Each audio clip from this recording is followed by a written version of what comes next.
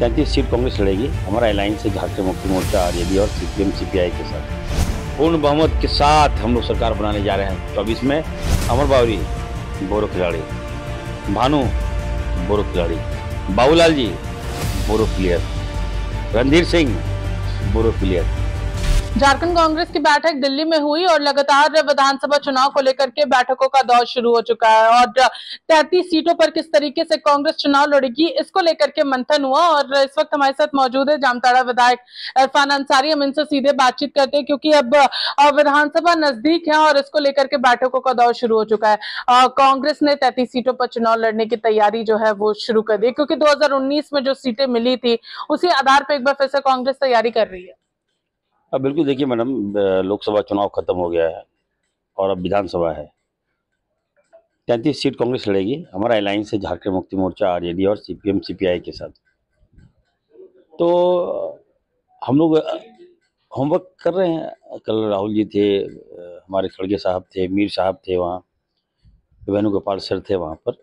तो सारे सीनियर लोगों को बुलाया गया था और सबको टास्क दिया गया जवाबदी दी गई है। तो निश्चित तौर पर हमें लगता है कि राहुल जी अगर तीन तीन चार चार घंटा बैठक कर रहे हैं, आज तक इतिहास में कभी नहीं हुआ ऐसा। लेकिन राहुल जी काफ़ी गंभीर है झारखंड को लेकर और हमें लगता है कि यहाँ से उनको काफ़ी एफर्ट मिलेगा इस बार। और इस बार तैंतीस में हम लोग काफ़ी अच्छा करेंगे। आप देख सकते हैं, आए दिन भाजपा वाले इतना ज़्यादा उत्साहित हो गए हैं लोग। कह रहे हैं कि नहीं, हम कोई इनके एमपी बोलता है कि हम तिरपन सीट पे आगे हैं। उनका कोई विधायक बोलता है कि हम पचास सीट पे आगे हैं। तो हम इनके नेताओं से कहना चाहते हैं बोल दीजिए इस बार फिर से पैंसठ पार। बोले में क्यों नहीं है डर क्यों है? चार सौ पार बोल ही चुके हैं। अब फिर से पैंसठ पार बोल दीजिए यहाँ। तो कहीं ऐसी कोई बात नहीं है। देखिए सबसे बड़ी बात है कि जो हमारा ट्रैवल एरिया है वहाँ भाजपा हार गई। तो हम लोग ट्रैवल और अब मज़बूत कर रहे हैं। हमारी चंपई सोरेन जी इतना अच्छा काम कर रहे हैं। एफर्ट दे रहे हैं सब काम कर रहे हैं। सारी महिलाओं को एकदम एक एक हज़ार रुपया। भाजपा कार्यकर्ताओं को भी हम कहें आओ पैसा ले लो, एक हज़ार रुपया। लेकिन वोट दो इस बार महागठबंधन को। तो ये काम हमारा है, हम लोग काम कर रहे हैं। हम लोग काम करके हम चुनाव में जाएँगे। और अभी मैं आ रहा था, कुछ बीजेपी के विधायक थे, हमारे साथ बात हो रही थी। तो वो लोग भी कह रहे थे, यार, हम लोग तो चंपई सोरेन जी को इतना नहीं मान रहे थे। वो तो अच्छा अजीब अजीब सा काम कर रहे हैं। पूरी जनता का जनता का पूरा सारा श्रेय ले जा रहे हैं। हम लोग के लिए चिंता का विषय है चंपाई सोरेन। हम बोले हाँ यही है अनुभव का लाभ मिलता है लोगों को। हम लोग देखिए बड़ बोला नहीं है हम लोग। हम लोग काम पे विश्वास करते हैं और आला कमान का जो भी निर्देश होता है उसको हम लोग फॉलो करते हैं सीरियसली लेते हैं। और तैंतीस सीटों में इस बार देख लीजिएगा मैडम झारखंड मुक्ति मोर्चा भी लड़ेगी वो लोग भी जीतेंगे हम लोग भी जीतेंगे। अगर हम भाजपा कह रही है कि हम पचास सीट पे आगे हैं हम्म। तो ये लोकसभा था। हम्म। विधानसभा व्यक्तित्व में जाता है। ठीक है ना? हम्म। भानु जी का मैं सुन रहा था बात। क्या क्या बोले जा रहे हैं?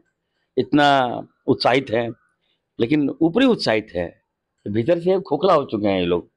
और आप देख लीजिएगा कि जनरल सीट पे हम लोग कमज़ोर नहीं हैं। हमारे एक से एक उम्मीदवार हैं हमारे एक से एक प्रत्याशी हैं। और हम लोग जनरल सीट में एकदम अगर हम उनतीस सीटों पे आगे हैं हम मान लीजिए हम हम्म एस टी बहुल क्षेत्रों में एस बहुल क्षेत्रों में तो उनतीस सीट हम जीती, जीत रहे हैं। और हमें जनरल सीट कितना लाना है? पंद्रह से बीस सीट? जेएमएम और कांग्रेस आज नहीं लाएँगे क्या? पूर्ण बहुमत के साथ हम लोग सरकार बनाने जा रहे हैं चौबीस में। और आप देखते होंगे कि राहुल जी का यहाँ मॉनिटरिंग भी हो रहा है, चंपई सोरेन जी का काम भी हो रहा है, और, कल्पना भाभी का चमत्कारी कदम भी प्रवेश कर गया है। तो ऐसे में भाजपा के पास कोई छवि नहीं है, कोई स्टार प्रचारक भी नहीं है इनके पास।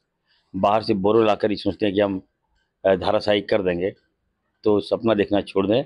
भानु जी से मैं कहूँगा कि भानु जी इरफान अंसारी है, ऑलराउंडर है। कोई बोरो खिलाड़ी नहीं है हम लोग। बीजेपी बोरो खिलाड़ी के दम पर सोचता है कि जंग जीत जाए। इतिहास गवाह है आज तक। कोई भी बोरो खिलाड़ी के साथ आप कभी जंग नहीं जीत सकते मैच नहीं जीत सकते। हम्म। हाँ अगर आप भाजपा अगर अपने नेताओं को जो जमीनी कार्यकर्ताओं को स्थानीय नेताओं को जो दिन रात पार्टी के लिए काम करता है उसको अगर आप महत्व देते तो हम लोग कुछ समझ सकते थे। सीपी सिंह को घर घुसा दिया बेचारा चाय पकौड़ा खा रहा है हम देख थे पभी फ़ोटो में। चाय बना रहे हैं पकौड़ा खा रहे हैं। अरे भैया विधायक हैं। जनता ने विधायक बनाया है। भाजपा ने जब आपको चाय पकौड़ा के लायक बना दिया तो जनता क्या करेगी इस बार देख लीजिएगा। हम्म, तो जो भी भाजपा के कोर कार्यकर्ता हैं उसको बोरो खिलाड़ी लोग जो हैं हाईजेक कर लिए हैं। अमर बावरी बोरो खिलाड़ी। भानु बोरो खिलाड़ी। बाबूलाल जी बोरो प्लेयर। रणधीर सिंह बोरो प्लेयर। तो अभी आंकड़े कई आंकड़े हैं। तो इससे आप देख सकते हमसे कहाँ भिड़ेगा ये लोग? हम लोग के लिए एक बल्लेबाज काफ़ी है इरफान अंसारी।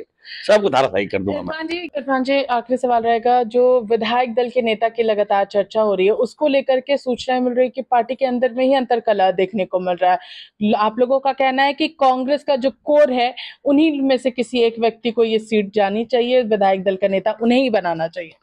देखिए वन मैन वन पोस्ट की बात हो रही है तो जिनको भी मिले है ना? अगर कोई मंत्री है, अगर उनको विधायक दल का नेता बनाया जाता है तो मंत्री पद उनको जाएगा उनको। और ऐसे में कोई बातें हैं ऐसे तो आलाकमान निर्णय ले रही है। आलाकमान सक्षम है हमारे। जो भी आलाकमान का निर्णय होगा, हम लोग तो फॉलो करेंगे। विधायक दल का नेता कोई भी हो, लेकिन ये पद काफ़ी महत्वपूर्ण पद है। अभी चुनाव का समय है, हम लोगों को एक होकर लड़ना है। और हमें लगता है कि मीर साहब, राजेश ठाकुर जी काफ़ी अनुभवी हैं। जो भी निर्णय वो लोग लेंगे, जो भी फैसला लेंगे, हम लोग मानेंगे और हम लोग काम करेंगे। समय कम है, काम ज़्यादा है टास्क ज़्यादा है।